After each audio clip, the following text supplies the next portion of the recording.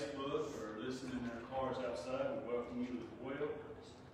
Uh, got uh, go want to do a few prayer requests uh, this morning, and I mean Josh, I guess I have one call. to in the hospital. Uh, I guess it's okay. Kay's texted us some more details. He went to the doctor, I understand, on Friday, and had a leakage from the back surgery ago, something like that. And from, so they gave you. go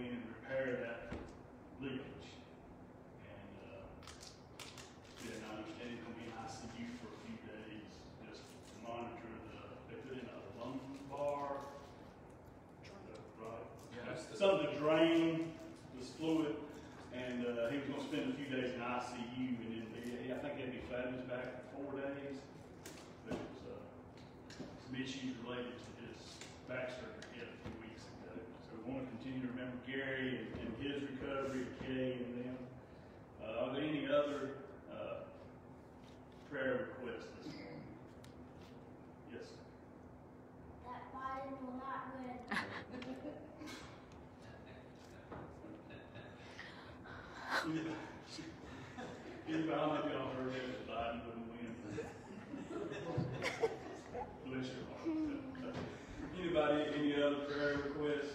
I'd like to second that.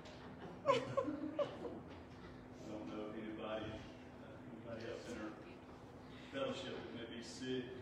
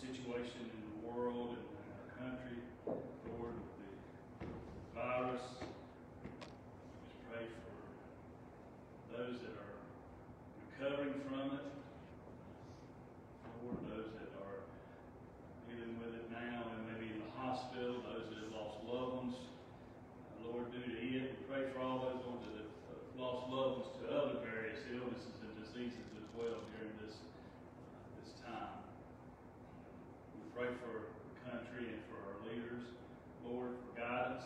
Pray for uh, this body of believers. Uh, as we move forward, pray for our other fellow sister churches, Lord, that are uh, dealing with the issues and, and, what to do and how to do and so forth, Lord, uh, during this time. We just continue to pray for your leadership and your guidance uh, and uh, keep us in the center of Lord now during this time of worship. We just ask now that you use Jay, speak through him,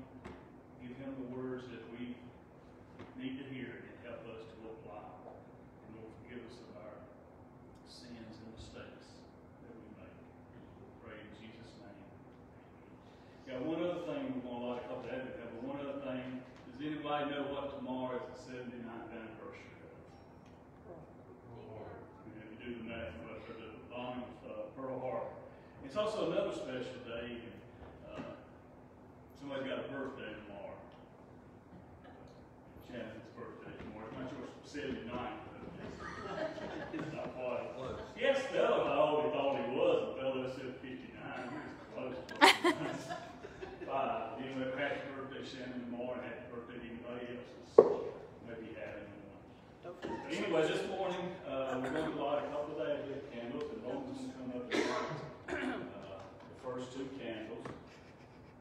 The Baptist literature. Oh, yeah. Hold on a minute. I got one other thing. I knew I to get something. The Sunday school literature again.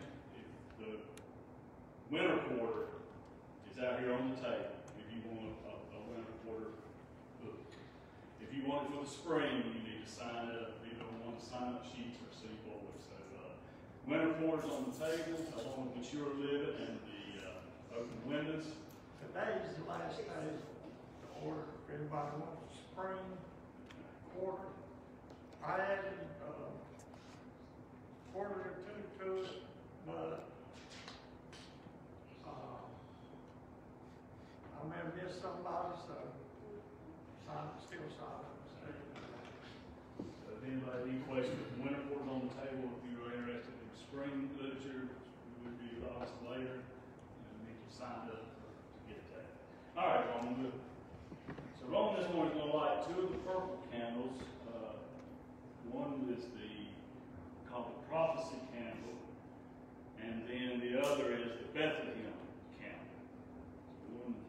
Prophecy and Bethlehem job.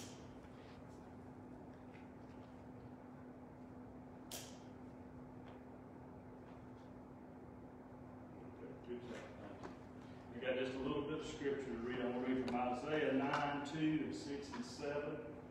The people walking in darkness have seen a great light, and those living in the land of the shadow of death, a light has dawned.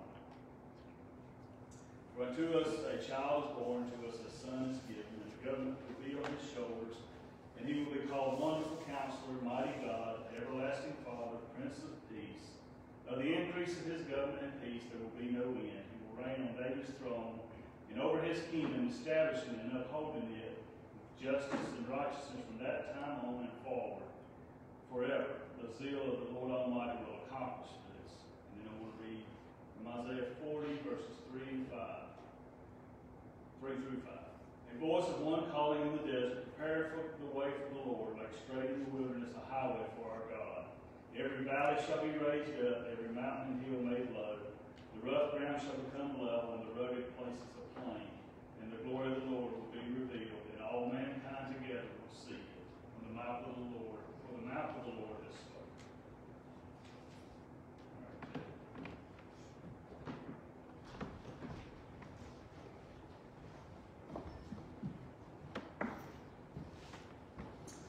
Well, good morning, everybody. It's good to be here. Uh, first Sunday here in December.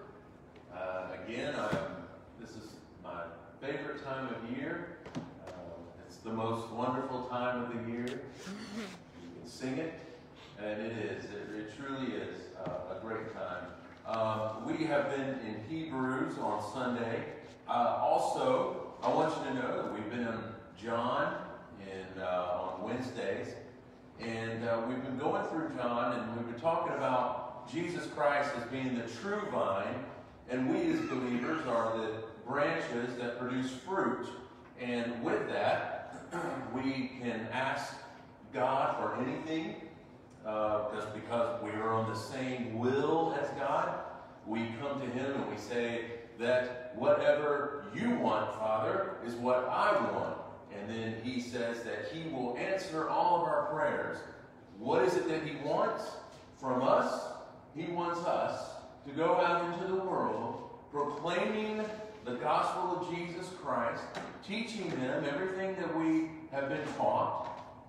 That from disciple to disciple to disciple to disciple, all from generation to generation, from what you've heard from my mouth is what has been preached from the very beginning when Christ came and, and taught his disciples. It has been passed down from generation to generation to, to you. And so and that's a great thing. But that's what he wants from us. He wants us to go and baptize. And all the nations, baptizing them in the name of the Father, Son, and Holy Spirit.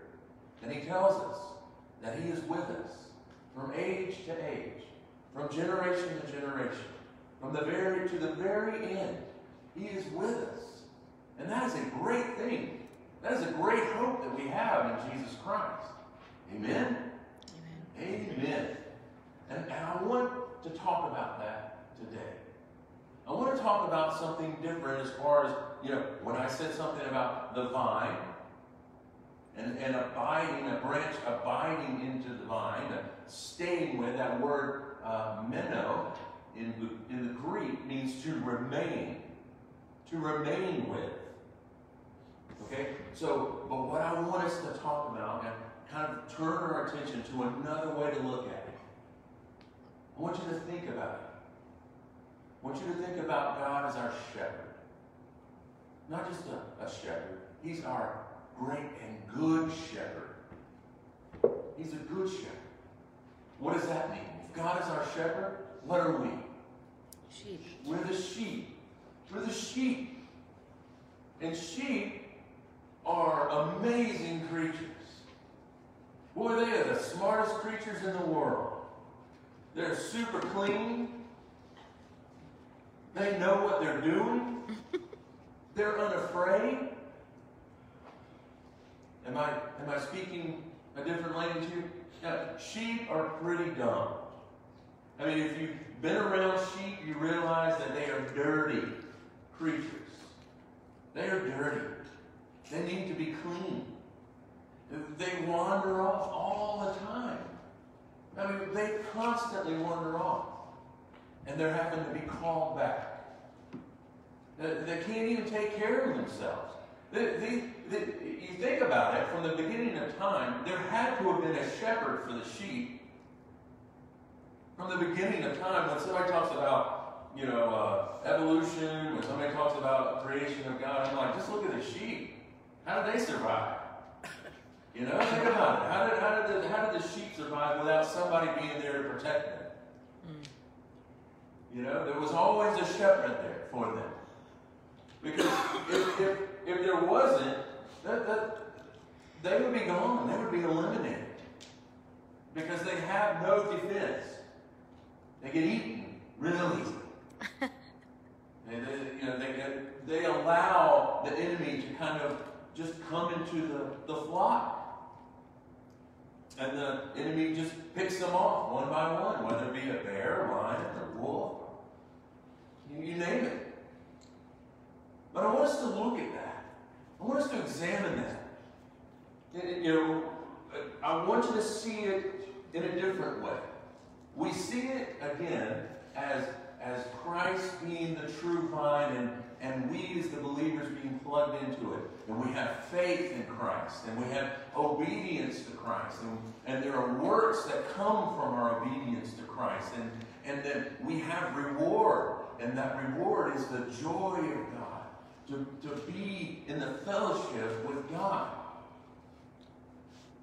Okay? So that's what we see with the with the with the vine, with the true vine, and us being the branches. But I want it, I want us to see it in the way of walking with Him. And in doing so, let's turn to Hebrews chapter 11. Chapter 11, verse 5, it says, By faith, Enoch was taken up so that he would not see death. And he was not found because God took him up. For he obtained the witness that before his being taken up, he was pleasing to God. And without faith, it is impossible to please God. For he who comes to God must believe that he is, and that he is a rewarder of those who seek him. Now you think to yourself, who is this Enoch? Who is Enoch? How many people have ever heard of Enoch? Okay, we have quite a bit here, and there are some who haven't. So let's just go back to Genesis chapter 5, and we'll study a little bit about who Enoch was. Because I want you to understand who he was, and why he is in the hall of faith, so to speak. Okay? So we go back to chapter 5 of Genesis, and now we're talking about the generations of Adam. It says, This is the book of the generation of Adam, in that day when God created man. He made him in the likeness of God.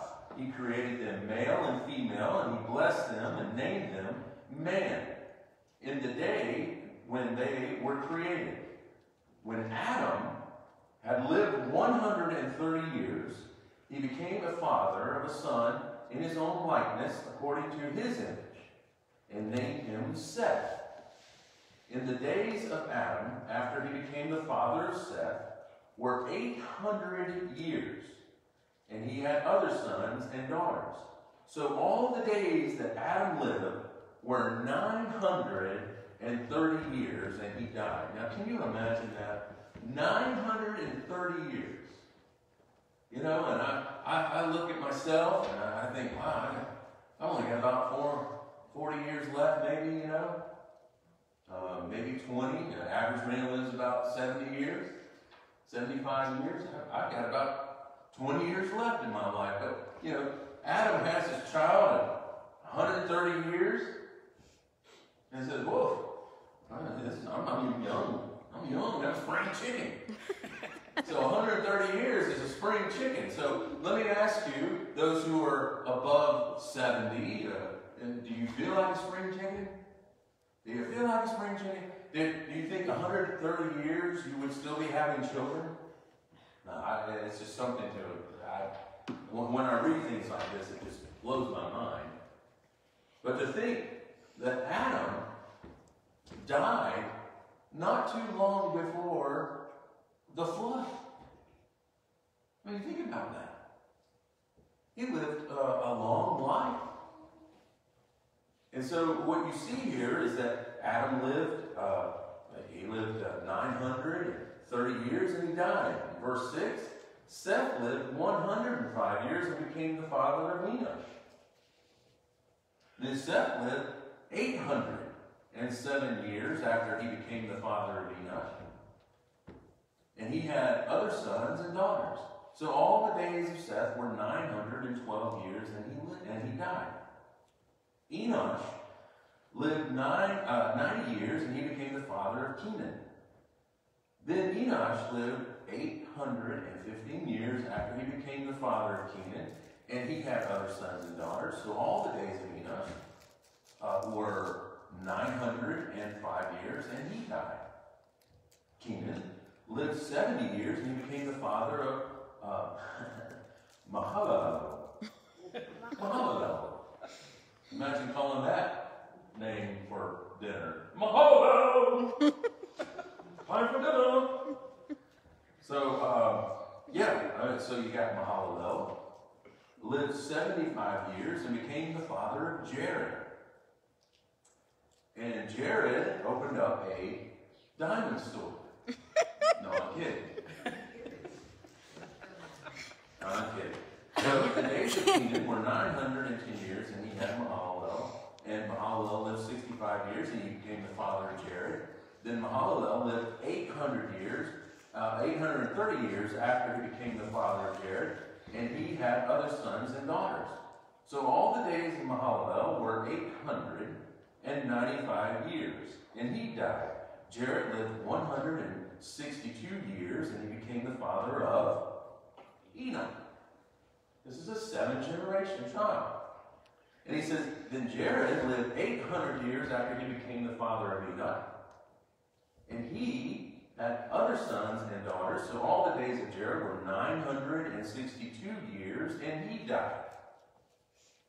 Enoch lived 65 years and became the father of Methuselah. Now you now sure we've all heard Methuselah, right? that is a saying that, that that person is as old as Methuselah. Why did they say that? Because Methuselah was the oldest person to ever live. Okay? Uh, Methuselah lived 180 years after uh, he gave birth to Lamech. And Methuselah lived 782 years after he became the father of Lamech. I'm sorry. And he had other sons and daughters. So all the days of Methuselah were 969 years.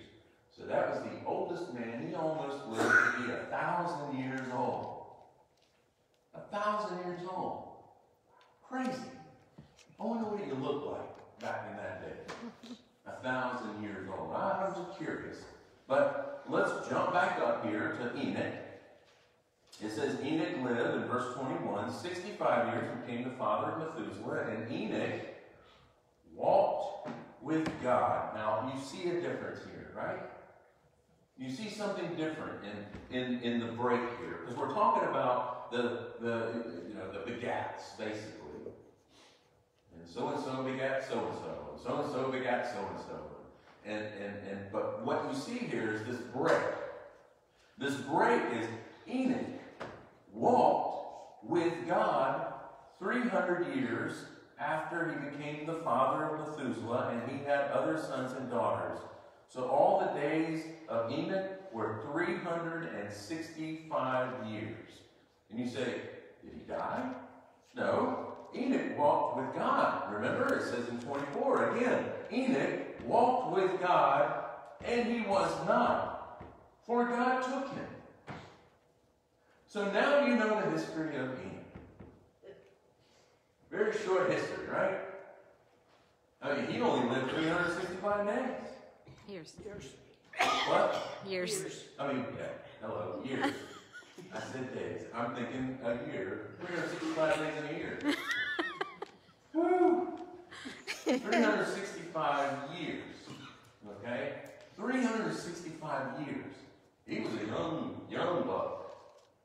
He died at a young age. Uh, but he didn't die. It says here that he walked with God. And he was not, for God took him. So what you're seeing here is that Enoch, number one, walked with God. He walked with God. And the second thing you'll see here is that he was pleasing to God, so God took him. Just took him right up to heaven. What does that actually mean? Why would God do that? Why would God change and all of this and, and just take somebody up to heaven? Well, it says in Hebrews that he, he pleased God. I mean, what does that look like? Hmm. Do we please God? Are we pleasing to God? Do, do we know of anybody else that he's, he's taken up to heaven other than Elijah? Ezekiel? Did he take Ezekiel? Ezekiel died. Oh, okay. But you brought him back. But here's the thing, is that Elijah was taken up, Enoch was taken up. They didn't die. They didn't die. They were pleasing. The Enoch was pleasing to God. So I want us to think about that. I want us to think about what we're talking about when we when we say that we walk with God. But I want it to be in the mindset of us being the sheep and Him being our great master.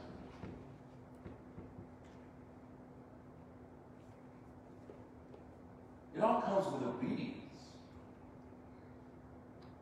You see, the reason why Enoch was taken up, and the reason why Enoch was pleasing to God is because he had faith. That's what the writer of Hebrews is pointing out. He says, Enoch had faith. By faith, Enoch. And because Enoch had faith, Enoch also walked in obedience with God. Remember, faith, obedience, works, reward. Faith, obedience, works, reward. The thing about the sheep with the shepherd, the shepherd calls out the sheep from the from the sheepfold. So it's a it's a, a an area, we talked about this on a on a Wednesday night as well. And Christ said that He is the good shepherd, right? And He calls His sheep out of the sheepfold where they where they keep the sheep, all the sheep together. They all the shepherds they bring the sheep into this fold, and, and they they they they it's a walled area. It has only one way in, one way out. It's just one door. Jesus said that he was the. So the, the shepherd calls out, he comes to the sheepfold, he calls out each of his sheep by name, is what Jesus said. Calls them out by name. And they come to him. And then it says that he leads them. He leads them. Ah, think about that. I mean, think about your, your shepherd calling you for one. And you hear his voice. And you go to him. And then he begins to lead you. He begins to move you, right? And what are you doing? You are walking with Him. Hmm. You are walking with Him.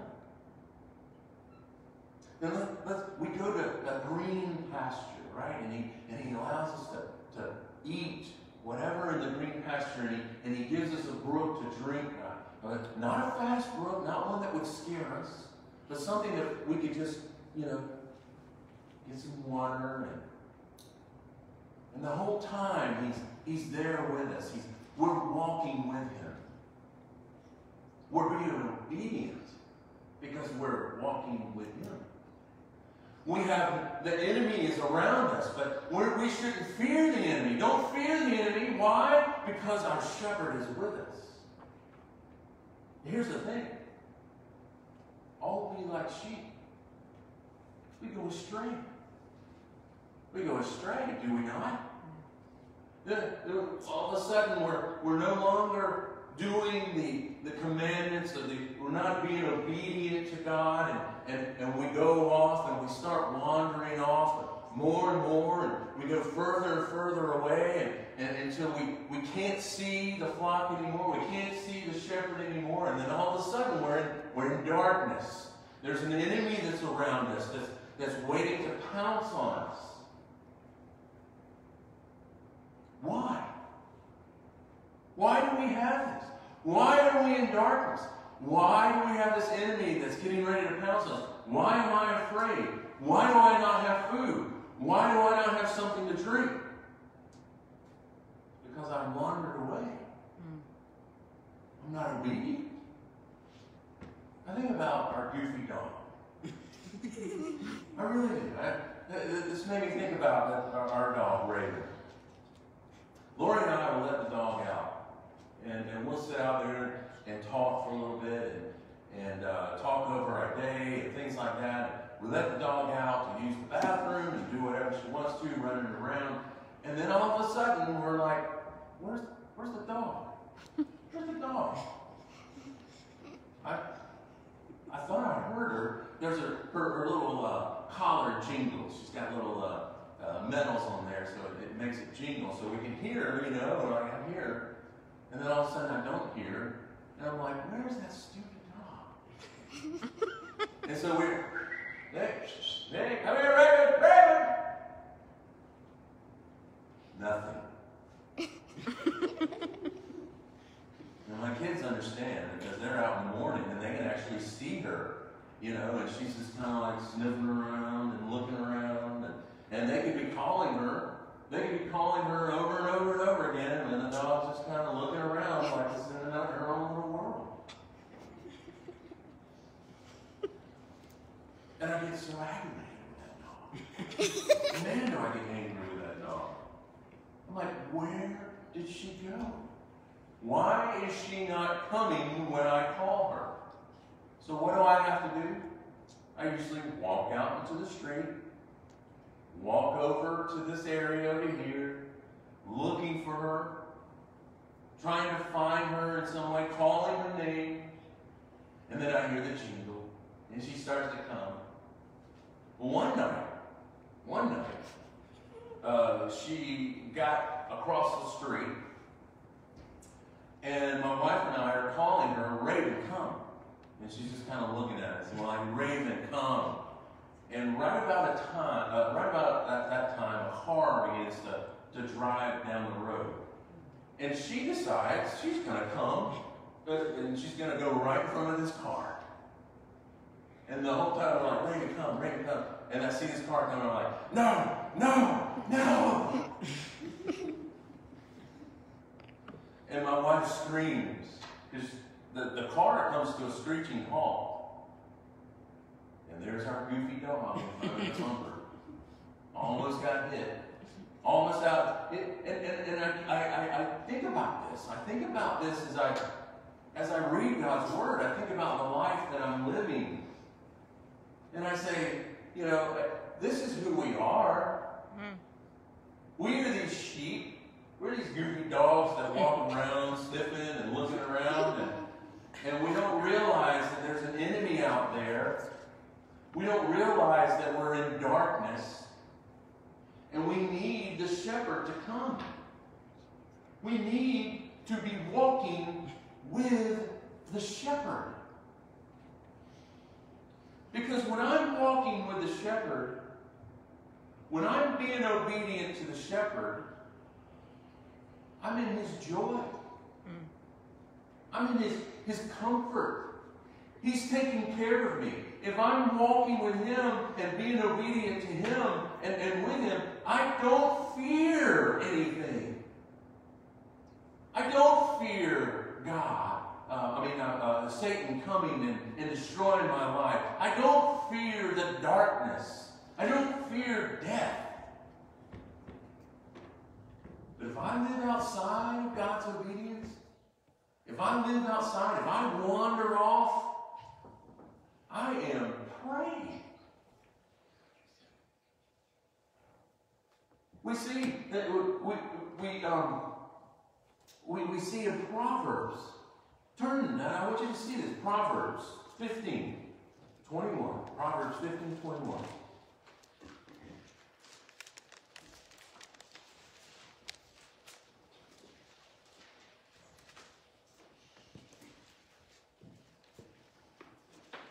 It's talking about wise men, foolish men, believers, non-believers, basically. But in, in 21 of, of, of chapter 15 of Proverbs, it says, Folly is joy to him who lacks sense, but a man of understanding, a man of understanding walks straight. You see that? If you know who your shepherd is, if you understand your shepherd, if you obey your shepherd, you will walk straight. He will guide you. He will not let your foot slip.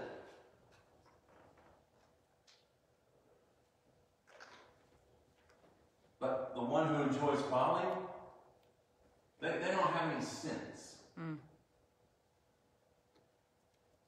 They have no idea. They don't know anything about what the shepherd wants. They have no understanding of the commandments of God. None whatsoever. But if we walk with Him, we have an understanding. We have obedience to Him. We listen to His word. Come, go, eat, drink, be filled. The other thing I want us to look at is also who. Who walks in his ways?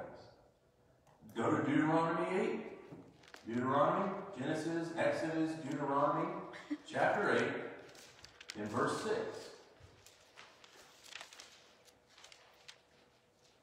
Genesis, Exodus, Leviticus, Deuteronomy. It's numbers, numbers, Deuteronomy. Genesis, Exodus, Leviticus, Numbers, Deuteronomy. Yes, I'll get it right. Chapter 8, I got that right, I hope. And, uh, yeah, 8 6.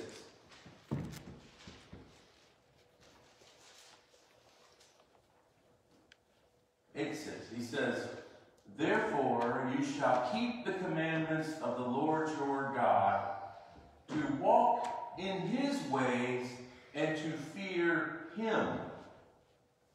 For the Lord your God is bringing you into a good land. There's your pasture.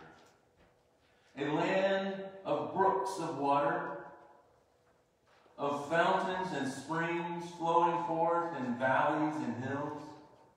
A land of wheat and barley and vines and fig trees and pomegranates and a land of olive oil and honey.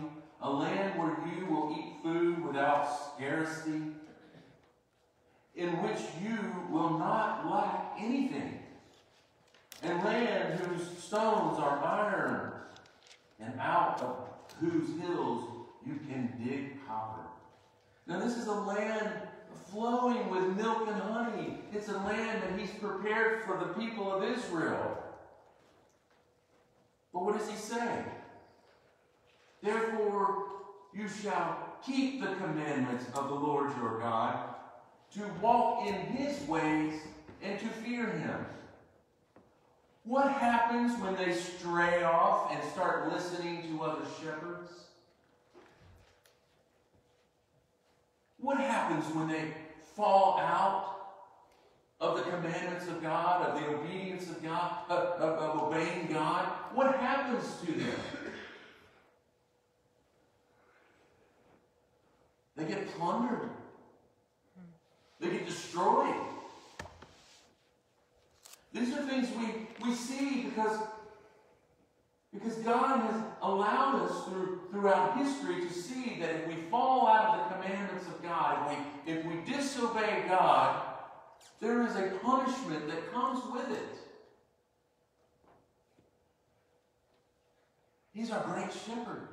He has great things for us. Great things for us. And all he asks is that we trust him. That we trust him as our shepherd. That we trust that he has these great things, that he's going to lead us, that he's going to guide us, that he's going to take care of us. We obey him. So Enoch walked with God. Abraham. Abraham walked with God. Noah. Said Noah walked with God because he was obedient to God. He trusted God. I want you to see something real quick. Go to Psalm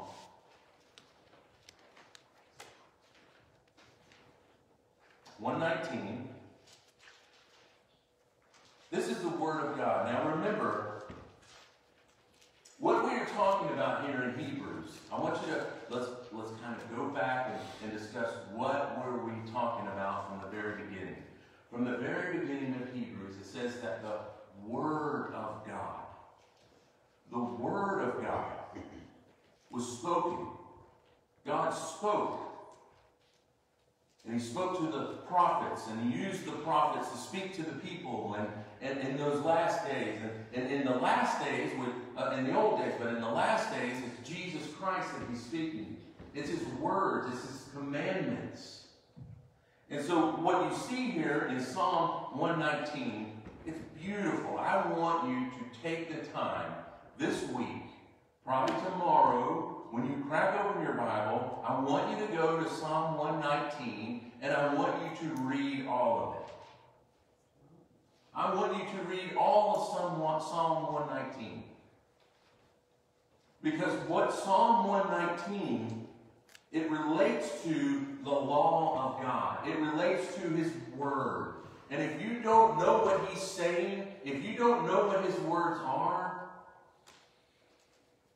then Hebrews 1 is not going to make any sense to you whatsoever. When he talks about the Word of God spoken. Okay? So I want you to see this in verse 1. Psalm 119, verse 1. How blessed are those whose way is blameless. That's every believer. Remember Ephesians? Ephesians 1 that we are holy and blameless before Him? says here, How blessed are those whose way is blameless, who walk in the law of the Lord. How blessed are those who observe his testimonies, who seek him with all their heart. Is this sounding familiar?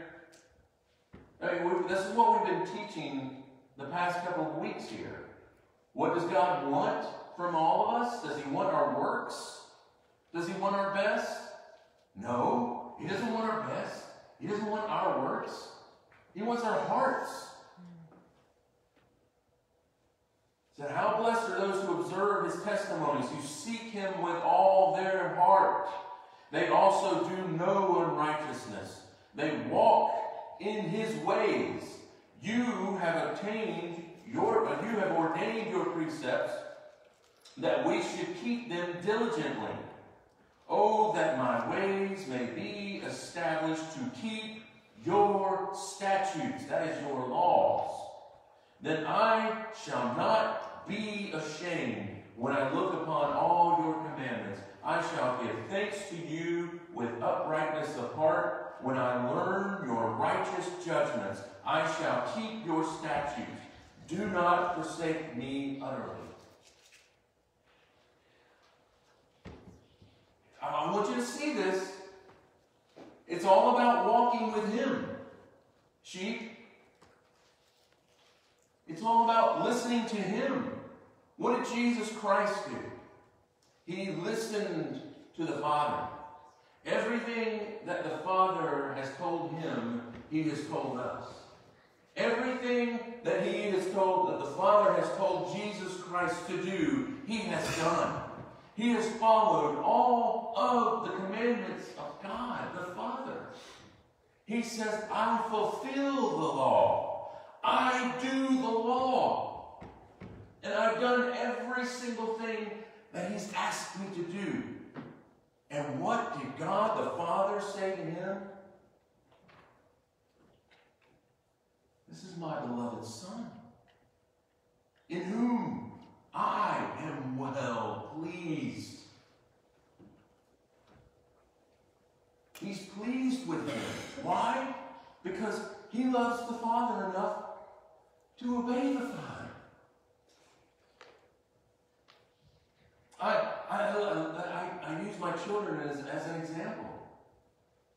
When, when my children disobey, and everybody here knows who has had children, when your children disobey, you still love your children, but you get very angry with them, and they're not pleasing in your sight.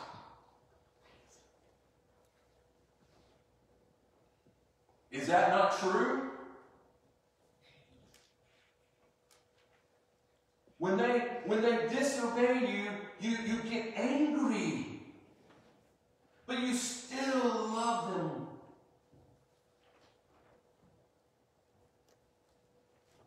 See, it's the same with God. When, when we disobey Him, He we he, he still he gets angry with us. As a believer, he's he's angry with us, yes, and he chastens us. But he still loves us. He still takes care of us. But He wants us to do His will. He wants us to do His commandments, to obey Him, to listen to Him, to trust Him and Him alone. Again, read Psalm 119 and you will see how important God's Word is to David. It's the longest chapter in the Bible. You'll see that it's broken up into sections. Aleph, Bet, Gimel. You'll see that is the, the uh, alphabet, the Hebrew alphabet. And it's broken up into the Hebrew alphabet letters. Okay? So when you go through 119, you'll start to understand more about God's Word and how important it is.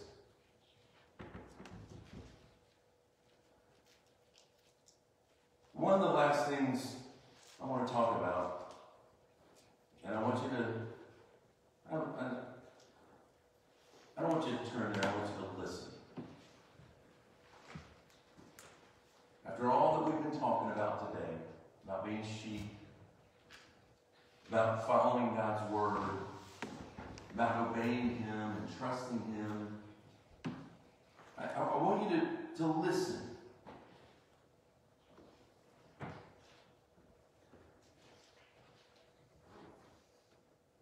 Psalm 23. The Lord is my shepherd. I shall not want. He makes me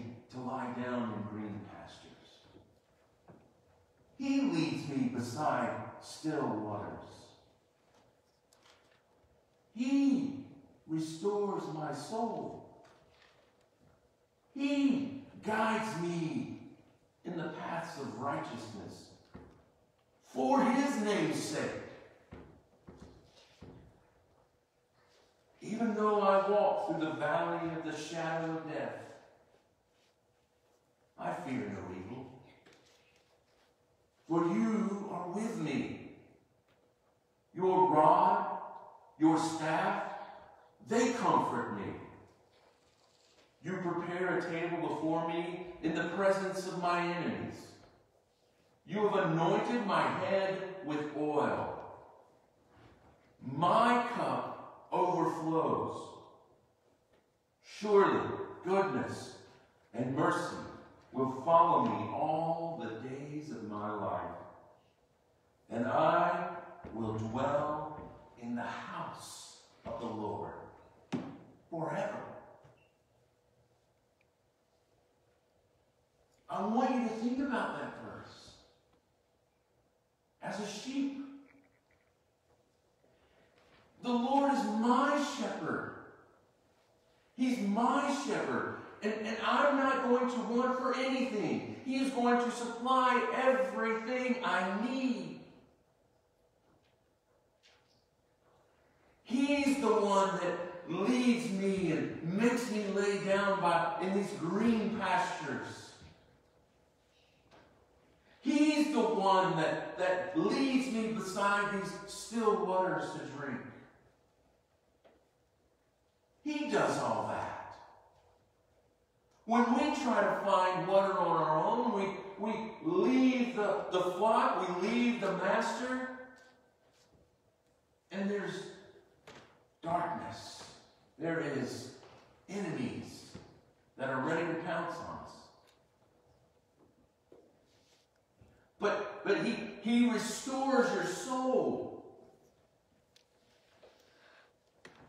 And he guides you. He guides you in the path of righteousness. Think about that. You need to walk with him in order for you to be guided by him. He is our light. He is our light in a dark world. And if you aren't near him, you are in darkness. If you are not obeying him and being close to him, you are in darkness. And he does this not for your name's sake, not for you, for his name's sake. He's the one that made all the promises. We break promises. He makes them. So he does these things for us for his name's sake. Because he's promised to do so. So he does this for us because he loves us. It says, even though I walk through the valley of the shadow of death. I want you to get that. There's a valley, and there's a shadow of death. It's not death itself. It's death to a believer is just a shadow. It's Jesus Christ even said, "You will not taste death. You will not see death." As a believer, and you say, "But Jerry, we, we all die." We, we all die, right? It's just a door we pass through as believers. As a non-believer, as a disobedient uh, a person, a, one who doesn't keep his commandments, one who doesn't have anyone anything to do, no trust in God whatsoever, when they die, they feel the sting of it immediately. And it's not just at that moment, it is an eternal sting. Eternal. But it says here that we walk through the valley of the shadow of death. It's just a shadow. A shadow does nothing to you. It cannot affect you in any way. It has no capability to reach out and do anything to you. But we walk in this shadow. Why? And we fear no evil. Why? Because He is walking with us. He's walking with us. So I fear no evil. I fear no death. I don't fear death. I don't fear evil. It says here that your rod and your staff, they comfort me. Your rod is a picture of judgment. Your rod is a picture of, of commandment. This is what I want to, uh, if, we if we break his law, we get out of, out of bounds, if we get, he, what he usually does, what a shepherd would usually do is he would take that rod and he would break the leg of a sheep to keep that sheep close to him. If it's his sheep, he's going to do whatever it takes to keep you close to him. If you are his sheep, he will do whatever it takes, even laying down his life for the sheep to keep you close to him. It says that, that the, the Father, no one comes to me. This is what Jesus said. No one comes to me unless the Father draws him. And, and when he draws him, I will in no wise cast him out. And you know why he does this? He goes on to say that he, he does this, and, and he says that, that I lose none. So everyone that the Father has given Jesus Christ, the shepherd, every sheep that the Father has given him, he will not lose one. So what does that mean? If one strays off, what does he do? He leaves the 99 righteous sheep and he goes after the one sheep because that's his sheep. And what does he do? He brings that sheep in back to the fold. That sheep don't want to come back. That sheep don't want to stick around. He breaks its legs. And he heals it. He puts bandages around it, oils and ointments around that, those legs. And, and But the whole point is he takes that sheep up, he puts it on his neck, and he carries that sheep around. Everywhere that shepherd goes, that, that broken sheep is on the neck of, of, of God, our shepherd. And then when he heals, it, it, that, that sheep never leaves his side. Never leaves his side. That sheep sticks to him like glue. It's an amazing thing. But this is our shepherd. He'll leave the 99 righteous, and, and these 99 righteous, they don't, the, the, the shepherd has gone off and, and found the one that ran away. It, it, was absurd to the Pharisees and the, and the Jews at the time when he was telling this story because they would say, You would never leave 99 sheep to the enemy. You'd never, never leave this 99 sheep to go after one. Jesus says, No, if they're my sheep, I lose none. And then he says, and here's our hope. Here's our hope that I will raise them on the last day. Well, that's a great hope to have. To know that I have a shepherd that will never leave me, never forsake me. When I run off, he's going to go after me and grab me and pull me back into the fold. I may go through trial and tribulation, and that may happen, and that will happen to each one of us. He may chasten us for a little bit, but I'm going to stick closer to him like glue, and I'm going to obey him. But here's the thing. I, I need him for everything. So your rod and then your staff. That staff, again, is something that's a very long staff, I had a hook on the end, a, sheep fell off, wandered off, and fell off the side of the cliff, and he was able to reach down and grab that sheep up with that staff and pull that, that, that sheep back up to the fold, he was able to, to, to keep the sheep from wandering off. He had that wandering sheep that would, well, again, that would wander off a little bit further, and he would just kind of use that staff to bring him in. But see, these are things of comfort. That's what we have to see. God's law is not something that is a, to a believer is something that pushes on you, pushes on you, and says you have to live this way, you have to live this way. No, it doesn't. It, it doesn't work that way. These are things that are comforting because I know my heart of the shepherd. I know his heart. He loves me. He wants to take care of me. He's done everything that he needs to do for me, including dying for me, laying down his life for me. I want to walk with him. I want to be next to him. I want his fellowship. It says here that he's prepared a table before me in the presence of my enemies. He prepares a table for me. So I'm sitting here, eating, enjoying everything that in the presence of my enemies. He's there with me. I don't have to worry about the enemy.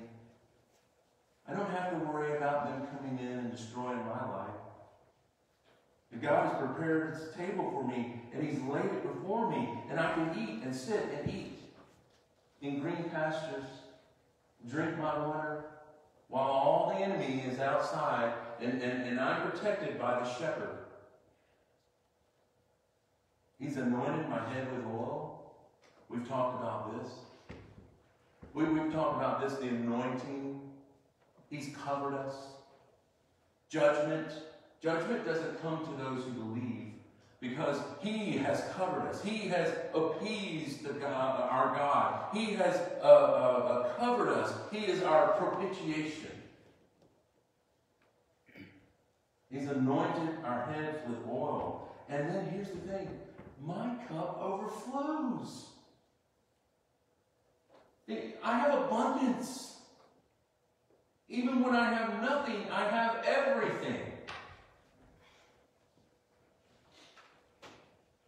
Surely goodness, my Bible says loving kindness, but I, it's mercy. Surely goodness and mercy will follow me all the days of my life. This is my shepherd following me as I go out and, and he's watching me and taking care of me. He's always around. He's always going to be there with me. And his mercy and his goodness is always going to be there. It's always going to be with me. And here's the beauty. And I will dwell in the house of the Lord forever. I am not a servant. I am not a slave. I am one who is a child of God. Christ said, we studied this last week in, in, on Wednesday. Christ said, I no longer call you slaves but I call you friends. I call you friends. You, you're part of the household of God. Because everything that the Father has told me, I'm telling you.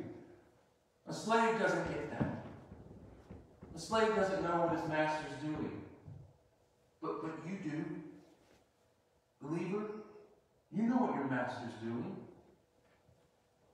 And, and you because you're in the household. You're of his household. If you live in the house, you need to know what the Father's up to. And he lets you know. A slave, you just do what I tell you to do. Do what I tell you. But that's not who we are. We have been loved. We have been brought into the household of God. We are holy and blameless before him. We have been given the inheritance of God. Everything, Christ says, everything that is mine is yours. It, I can't fathom that. But I hold on to it. I believe it. I trust it. So you have faith when you trust your shepherd. You have obedience when you stay close to him, listen to his voice, Listen to His Word. Don't listen to all this out here. but listen to His word so you have obedience. Then you have works. Works. He's given us things to do. To go out and proclaim. To make more sheep. And then it says we have reward. Here's our reward. That goodness and mercy is going to be with me in all the days of my life. And, and that I'm getting to dwell in the house of the Lord forever. Th- that's my reward. It's not so much of, of, of, of tangible things, but it is the joy of God. I'm reconciled to God the Father. I'm reconciled to Him. I, I experience His joy that He has with the Son.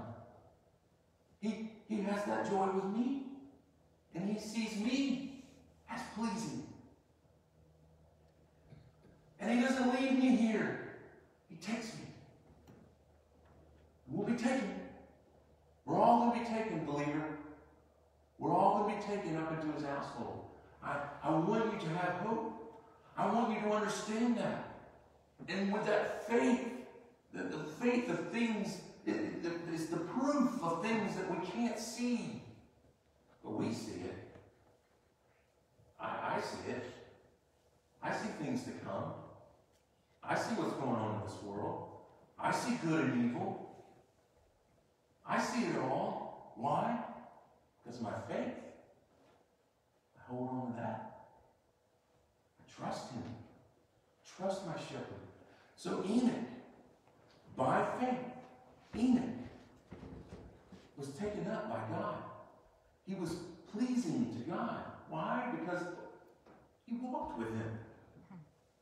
As a sheep should walk with his shepherd. He walked with him. He loved him. He loved the shepherd. And Enoch was taken up because it pleased God that much. That's an amazing thing. I want that. I hope you do. I want to be pleasing to God. I want to be obedient to God. Oh, I want to have works and I want to have reward, but you know where it starts? Faith. I gotta trust Him. Let's turn to Hebrews one last time.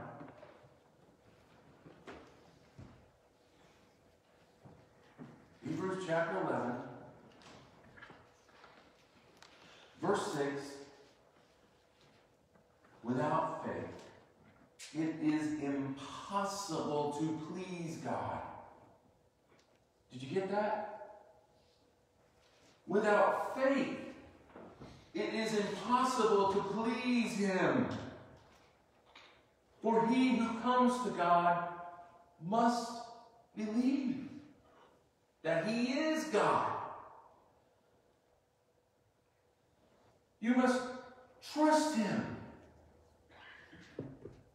That He's in control of everything.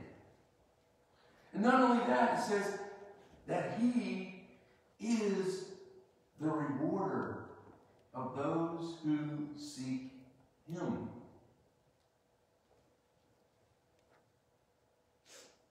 That's who our God is. I, I, I want you to, to see this in such a, a, a realness.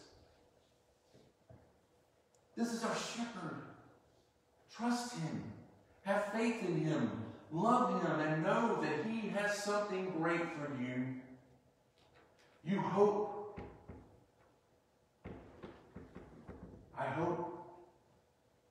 I rest in him. I trust in him. You can have that as well. And if you hear his voice, don't run away.